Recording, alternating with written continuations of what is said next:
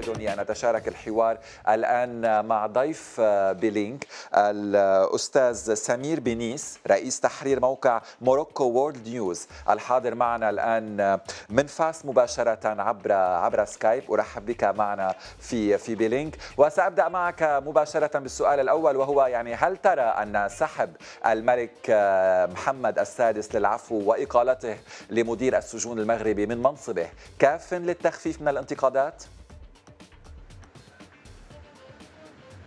أه لك تعاود السؤال من فضلك.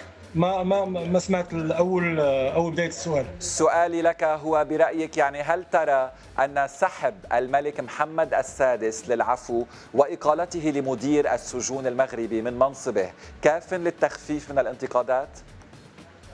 أنا اظن أظن طبعا أن هذا القرار غير مسبوق الذي قام به الملك محمد السادس بإلغاء العفو عن عن مقتل الأطفال دانييل. اظن انه سيؤدي إلى إلى إلى إلى وضع حد شيئا ما إلى وضعية الاحتقان والغنيان التي يعيشها الشارع المغربي بعدما تم العفو أظن بخطا عن عن هذا المغتصب. وأظن أن هذا هذا القرار آه، كان قرار صائب في محله لأن آه، لأن أظن أن الملك محمد السادس والقصر حسوا أن بخطوره ما تم القيام به وأظن أن الوقت كان كان كان جد مناسب لاتخاذ هذا القرار. وأنا أظن كذلك لأن ان الناس الذين يدعون الآن للقيام بمظاهرات يوم الثلاثاء المقبل أو يوم الأربعاء. فما أظن أن هناك هناك أنها دعوات في محلها لأن ما كان يطالب به الشعب حينما حينما خرج المتظاهرين يوم الجمعة إلى إلى أمام البرلمان وفي مدن أخرى كطنجة وتطوان ومدن أخرى فطالبوا بإلغاء العفو على على هذا هذا المجرم. ولكن المشكل اللي كاين الآن هو أن دانييل غير موجود في المغرب. وهذا هو الإشكال واللي اللي من شانه انه أنه يجعل أن هذا القرار ما يكونش عنده مفعول ما يكونش عنده مفعول 100% من أجل آه، وضع حد شيء ما الغليان الذي يعيشه الشارع المغربي وما هي يعني اليوم أكثر الآراء المتداولة على مواقع التواصل الاجتماعي بخصوص هذا العفو الملكي الصادر وبعده يعني سحب العفو كيف تعاطى النشطاء اليوم عبر مواقع السوشيال ميديا مع هذه الحادثة بالتحديد؟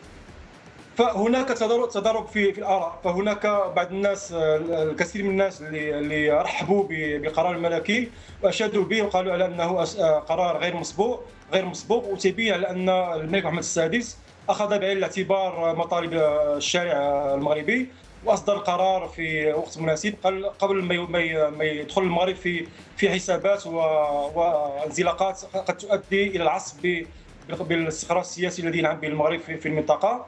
وفي على خلاف ذلك هناك بعض الناس الذين الذين لا زالوا يقولون أو يشككون في أن الملك لم يكن له علم بأن دانيال كان موجود في لائحة لائحة المشموله بالعفو وكذلك بالجرائم التي ارتكبها في في حق الأطفال المغاربة.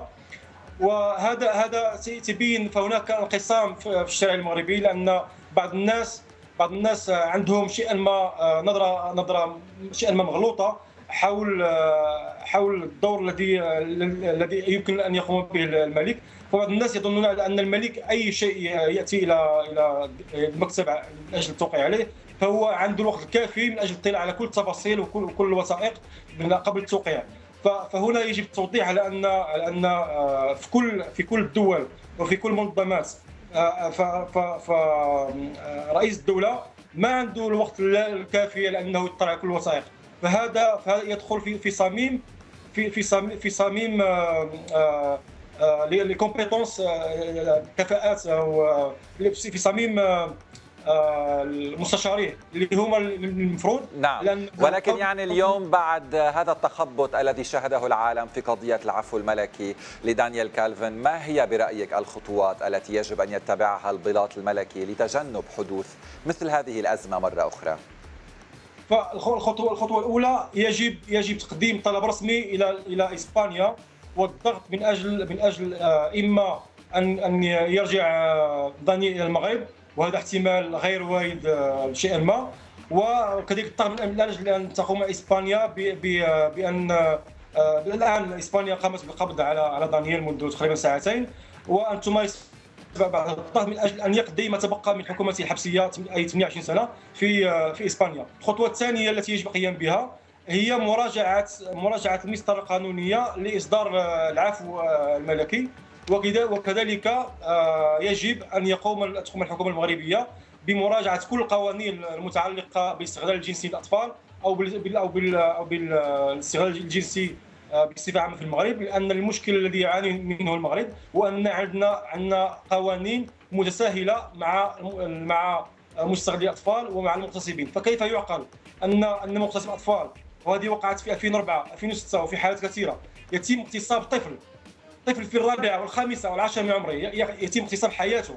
وفي الأخير نقوم بالحكم عليه بسنتين أو ثلاث سنوات ويتم بعد ذلك إصدار عفو. فهنا يعني يجب يجب طرح تساؤل آه، من من يقف وراء وراء وضع وضع هذه الأشخاص في اللوائح المشمولة بالعفو. ففي في الدول في الدول كفرنسا أو أمريكا التي اعيش فيها. فهناك بعض بعض الولايات التي يتم فيها الحكم بالإعدام بالإعدام على المغتصبين.